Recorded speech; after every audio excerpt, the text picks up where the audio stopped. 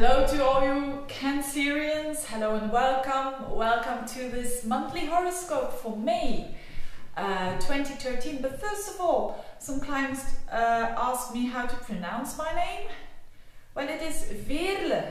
So the French, they call me Virle, and the Americans or Australians or from the UK, they call me Verle, but it is Virle. It is. I know it's a bit difficult to pronounce, but it's a typical Flemish name. It's very common here. But let's get back to something really more important, which is your uh, horoscope, your general horoscope for the month of May. It's very interesting because there are two eclipses, and as you probably know, eclipses are important for you Cancerians because it considers your ruling planet, which is the moon. So, um, there are happening two eclipses. There's also happening something with Caput Algol, which I'm going to talk about in a minute, and the Pluto-Uranus square. These are the most, there's other stuff going on, but that would take too long. So it's the most important stuff that is going on. First of all, at the 10th of May, there's the solar eclipse. So there's going to be a build up the first 10 days of uh, the month um, towards the solar eclipse at 19 degrees of Taurus. So uh, it's the sun and the moon together at 19 degrees, but also two other planets are very close to that solar eclipse, which is not only the nodes, but which is also Mars and Mercury. So um, you could say that this is, uh, in fact, a stellium going on. So uh, an overdoses of focus on a particular area of your life. And for you Cancerians, especially with a Cancerian rising sign, it is your 11th house. And that is one of my favorite houses, the 11th house. It's the house, not only the house of friends, but the house of our long-term wishes. So with a new moon, it means a new beginning and to have this new opportunity to think slowly because Taurus is a slow sign to consider on a very slow level your new aspiration. So don't go too fast on that. Maybe you are going to meet a new friend that is going to have a significant um, influence in your life. Um, but for most people, it will be new uh, long-term aspirations that are coming in, and um, and that is really nice. That is really interesting for you Cancerians as well. It's uh, I think a lot of social activity that uh, could be the case around that date. Now after that, there is uh, the Pluto-Uranus square at the 21st of May. It is going to be exact. Now, the Pluto-Uranus square is about transformation. It's about where we need to uh, become more true, and it's about liberation. Now, for you Cancerians, it's pretty important because it's in the seventh house. Pluto is in the um, seventh house of relationships. So it is a key area um, of your life. And then Uranus is at um, in your 10th house, which is work. So for a lot of Cancerians, it's either the, un, the one or the other, or it's both that um, is happening. But I don't really believe in the fact that when a square is exact, something happens. I don't believe that. I think, and especially Cancerians, because they are very sensitive, they will sense this already a long time, months ago, or even a year ago.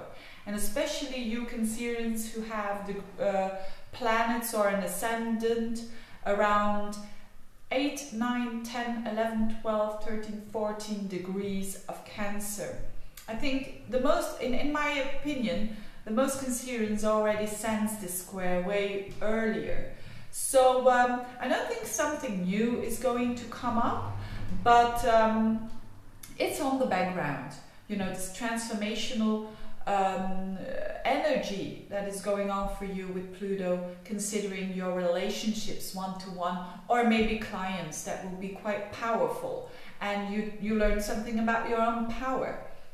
Um, or work. You know, you want to liberate yourself when it considers work. I see a lot of Cancerians, especially those who have a rising sign of Cancer, who shift jobs very quickly. All of a sudden, you know, when they have that Uranus midheaven, uh, when they have that, uh, sorry, I mean Aries midheaven, around those, those degrees 10, 11, 12 degrees, I see a lot of shifts in work.